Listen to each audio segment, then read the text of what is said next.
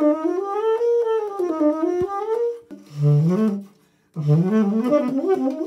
you warming up?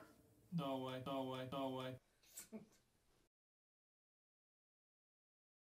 Hey everyone, how you doing? Stop, stay home, be safe, and practice. That's what you need to be doing right now. I think this is the most important thing for a musician or a jazz musician to be doing, concentrating on this time off that they have to become a better player in person. Okay?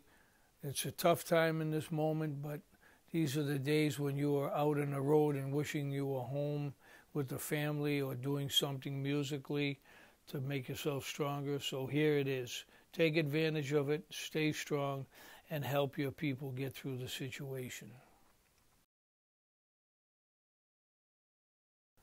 So today I wanted to give you a little something to work on regarding my triadic approach with the chromaticisms. This will keep you busy and you know aware to what's happening. I want to give you some ideas of how I look at chromaticism and how I employ the triadic approach in playing.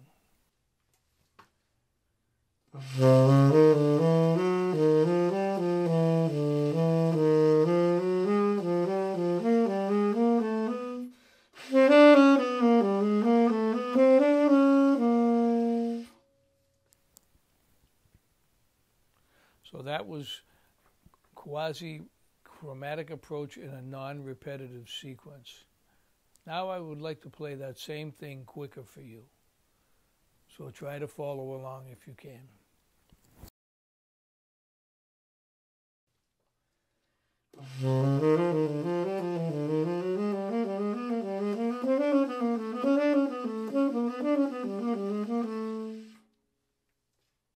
I'll give you a little example of how to practice the chromatic approach with all the intervals inside of a major third, say concert C to concert E.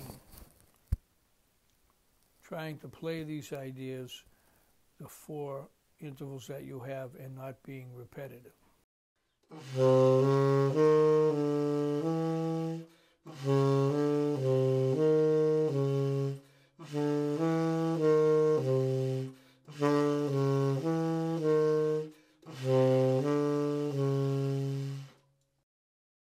So you'll do that with intervals of major thirds, not going lower than the root, higher than the major third, and playing these in random sequences all over your instrument.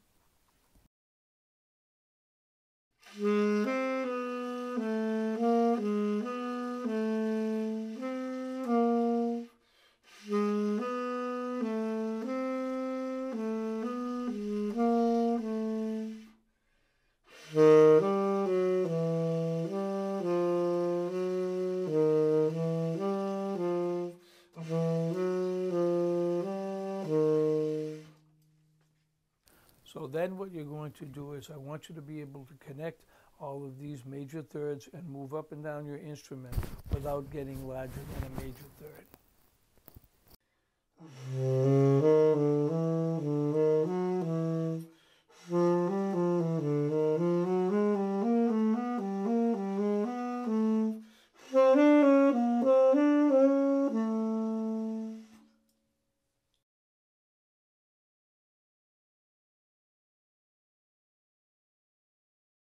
It's up to you to work on it slowly and make sure that it comes into your consciousness in a very relaxed state. Okay, everyone, so if you like my videos, please subscribe to my channel. Thank you.